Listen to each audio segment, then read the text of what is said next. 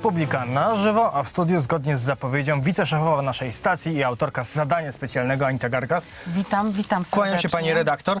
Y, Gazeta Wyborcza dzisiaj publikuje mm, to, co znamy z wczorajszej konferencji Państwowej Komisji Wyborczej. Sukces PiS, choć nie triumf, podsumowuje okładkę. Wynik wyborów, mandaty przyznane PiS No. y, zwycięża. Proszę Państwa, no ja, ja już nie wiem, jak komentować, bo to jest kuriozalne.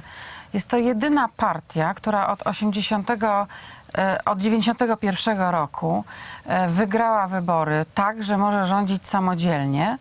I Gazeta Wyborcza wmawia swoim e, czytelnikom, że to nie jest triumf.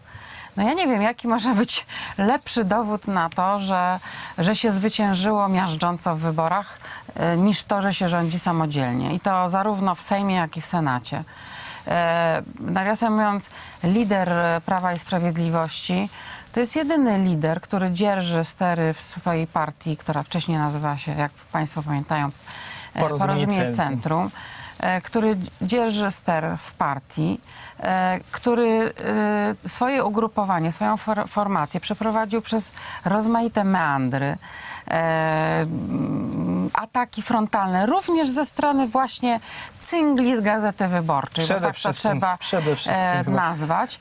E, I, I doprowadził ją do sukcesu, tak wielkiego sukcesu jak to, że, że będzie prezydent wyłoniony e, z tego grupowania i, i premier e, Po raz wtóry dodajmy, Polską. po raz wtóry dodajmy. To, to, proszę Państwa, no takie absurdy naprawdę można to oprawić w ramki, pokazać studen- pokazywać studentom pierwszego roku e, manipulacji dziennikarskiej. Natomiast Gazeta ja oczywiście tutaj za, zaszłam po to, żeby zareklamować No właśnie, bo Gazeta Wyborcza ironizowała, i inne manipulacje. O innych manipulacjach No. będziemy mówić.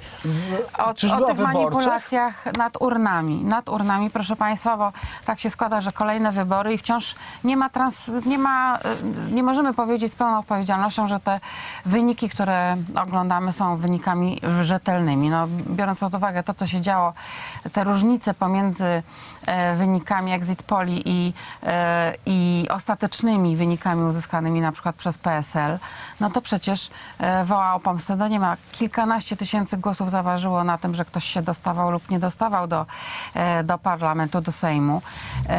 A to, co się działo w, w przeddzień wyborów, to, co się działo w samym dniu wyborów i, i w noc e, już po zakończeniu elekcji, no to proszę Państwa, woła o pomstę do nieba. My będziemy o tym wszystkim dzisiaj mówić. Podamy twarde przykłady, podamy e, konkretne liczby, gdzie, co, jak, e, jakie fakty odnotowano, które powinny być napiętnowane i zastanowimy się, dlaczego Państwa Komisja Wyborcza, która przynajmniej od 2014 roku wie, e, że dokonywano fałszerstw wyborczych, nie zrobiła nic, żeby temu zapobiec w przyszłości.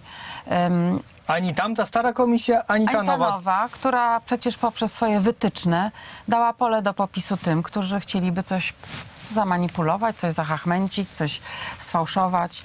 E, luki prawne związane z e, wytycznymi Państwowej Komisji Wyborczej naprawdę zachęcały do tego, żeby e, próbować zmienić przynajmniej w swojej mm, malutkiej obwodowej komisji wyborczej wynik.